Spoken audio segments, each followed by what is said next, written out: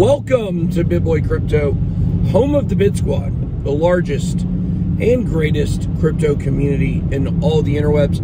My name is Ben. Every day on this channel, I show you how to make money in crypto.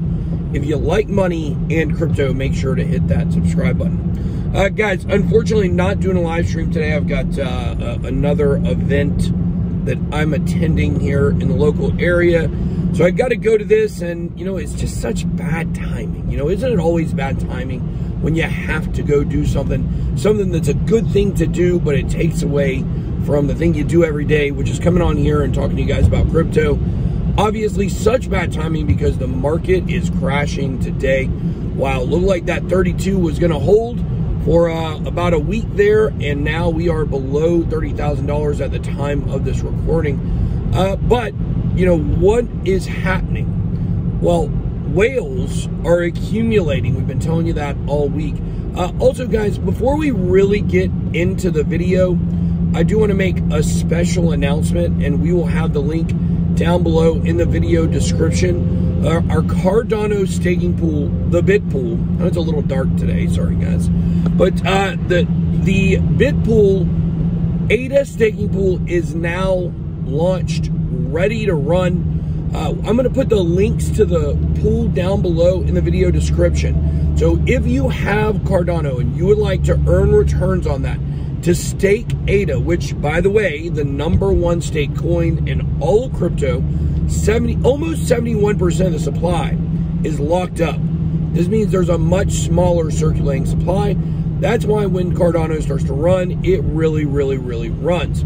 Uh, so if you want to join the staking revolution, come join the Bitpool. You can do that by visiting the link down below in the description. Uh, a special note is that you cannot send Cardano into the staking address. Somebody actually looked it up yesterday, found the staking contract address, and sent it sent some of their Cardano direct.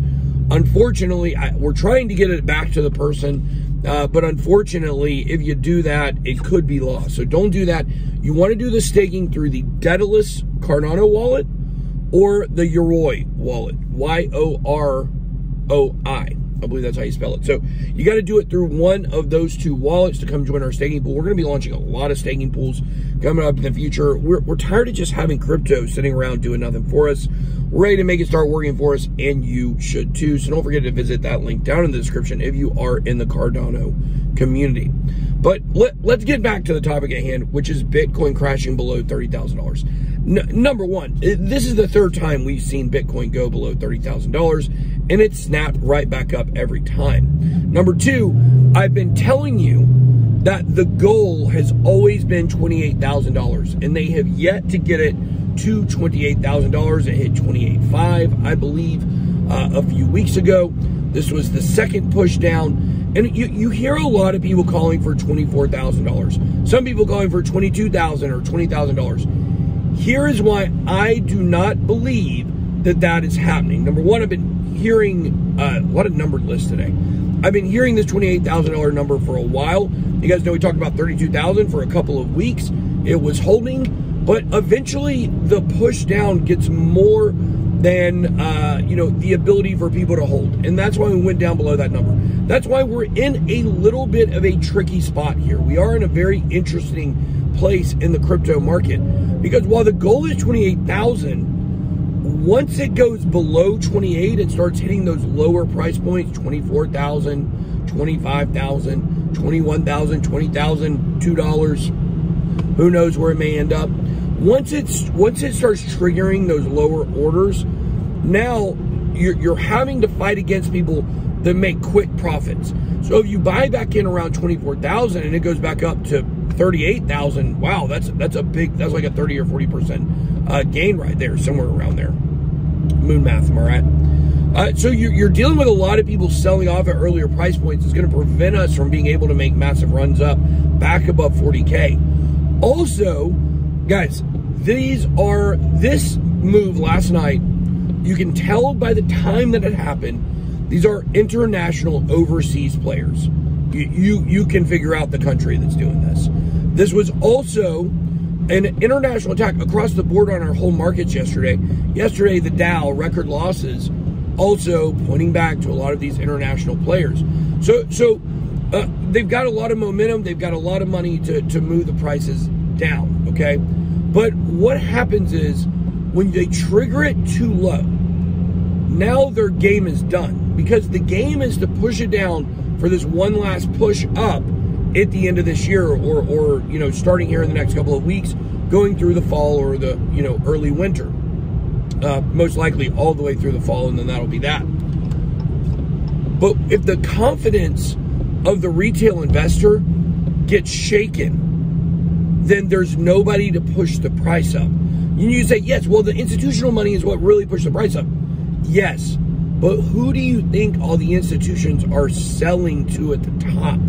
They have to have retail sentiment high in order to sell back to those people at the top. And if Bitcoin continues to go down, especially if we go below 20K, that retail confidence is gone. Okay. It takes retail investors a couple of years to recover during a bear market. That's kind of what plays in to the cycles. People come in, they buy at the top, they get wrecked, wrecked, wrecked. They don't want to hear Bitcoin. They don't want to see Bitcoin. They don't want to think about crypto. They don't want to watch a video until all of a sudden it comes back. They forget about the pain. They've recovered their losses and now they're ready to do the whole process again. That's why those who make the money in crypto are those who stay in the long term because you make it all the way through those uh, cycles and you understand, you know, the ins and outs uh, uh, of how it all works. So right now we saw a push down attempting to get people to sell. There was an article out this morning. As soon as Bitcoin hit 30,000 and went below, as soon as that happened, the whales were buying more. The whales were accumulating. And I, and I gotta, I gotta pick a little bone uh, yesterday with uh, what CryptoFace said on the show. Love CryptoFace, phenomenal. Uh, knows what he's talking about on the charts. He, he made a comment yesterday. He said whales get wrecked. Uh, that's not really true. Uh, there are some people who are whales who have been wrecked before. Uh, we've seen it. We've seen leverage traders get liquidated, lose everything at the top. But we're talking about the whales. We're talking about the top 100 addresses in Bitcoin and Ethereum. The top 100 addresses, they never lose because they make the market. So if you're talking about somebody that's got a thousand Bitcoin, yeah, maybe they can get wrecked, especially if they're trading. If you're talking about someone who has 10,000 Bitcoin or more, they do not get wrecked. And, and CryptoFace didn't make that distinction, uh, to be fair. Uh, but uh, the blockchain was great yesterday. Had a lot of great interaction. Uh, if you listen to the panel, three out of the four guests believe that Bitcoin does have another run up, and I think we're just seeing that final push down. We said mid July. Well, today's the 20th. This could be the bottom. This could be the bottom that we see before we head back up starting tomorrow. I, I, think by the end of this week, we will be going back in a positive direction. We, we could end up being wrong. Maybe the, uh, the London hard fork has pushed things back a little bit on the timeline. I still don't think it's true, but you know, we just got to see by the end of this week, early next week, what's going on and uh, recalibrate where we're at. Because right now, for Bitcoin do or die July, it's only got two options do or die.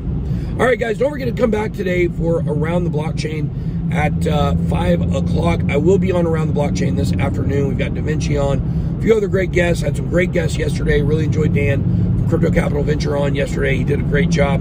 And, uh, you know, CryptoFace as well, uh, along with, uh, you know, our other guest yesterday, which at the current time, oh, it's Tom Crown. Love Tom Crown. Tom Crown did a great job yesterday, too. So make sure you check out everybody's channels that comes on around the blockchain. I'll be back today at 5 live. That's all I got.